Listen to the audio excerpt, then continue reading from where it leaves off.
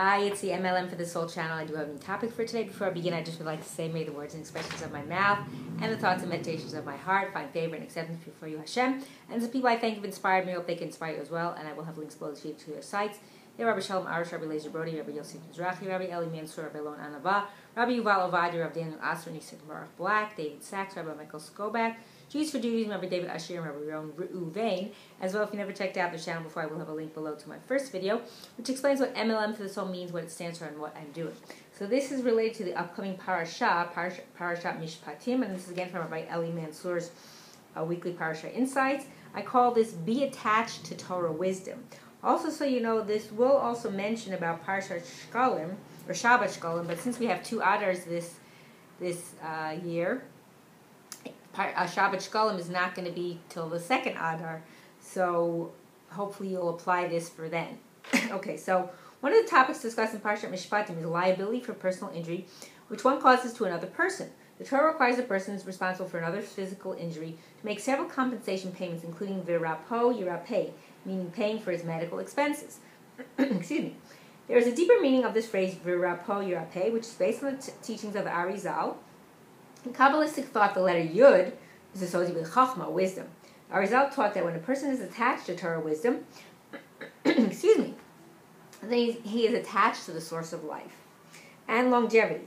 Likewise, the sages interpret the verse "Vizot Torah Asher Sam Moshe," meaning this is the Torah which Moshe placed. That's from the Devarim, as alluding to the fact that Torah is Sam Chayim, an elixir of life. When we cling to Torah, which is associated with the letter Yud, sustain our lives and maintain our physical well-being. So the Arizal explains on this basis the verse in Tehillim, Hashem yis adenu al eres devai.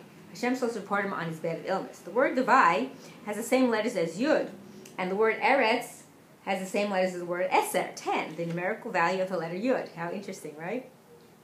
So a person falls ill when he loses his connection to the wisdom of Torah, which is associated with letter yud, which results in this letter which would serve as the person's source of life and strength, being transformed into eris tzavai, a condition of illness, heaven forbid. So there you go. Stay attached to Torah and you avoid that. So this concept sheds new light on the phrase virapo yirape. The word yirape is the word rapo, heal, with the letter yud added to it. So this alludes to the fact that a person is healed when he is connected to the letter yud, to the wisdom of Torah, which is the source of life and well-being. So this notion is always also expressed in the mitzvah of Machatzit shekel the half shekel donation which every member of Bnei Yisrael was required to make every year to the Beis Hamikdash. The annual collection of Machatzit shekel began on Rosh Chodesh Adar, and we therefore commemorate this mitzvah by reading the Torah's command of Machatzit shekel on the Shabbos before Rosh Chodesh Adar, which is a special Shabbos which we call Shabbat Shkalim. Um, so the Torah in Shemos 30, 13 writes that the shekel consists of 20 gra, which is a certain unit of weight, and thus the half shekel donation consisted of 10 gra. The Talmud Yerushalmi Masechet Shkalim explains that Hashem commanded Bnei Israel to donate ten gerah to atone for the sin of the golden calf, which entailed a breach of all ten commandments. So the ten gerah of the Machatzit Shekel corresponds to the ten commandments, all of which were transgressed at the time of the golden calf, the sin for which the Machatzit Shekel comes to atone. So that's the bad. It balances things out, as you say.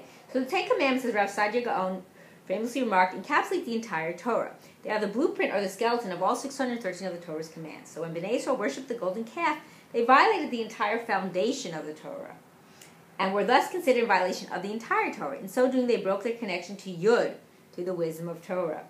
So, and for this reason, as our sages teach, they lost the gift of eternal life, which they received at the time of Matan Torah. So the angel of death became powerless when Bnei Israel received the Torah, and they were thus to have lived forever. But they became again susceptible to death when they worshipped the golden calf. As the wisdom of Torah is what sustains our life.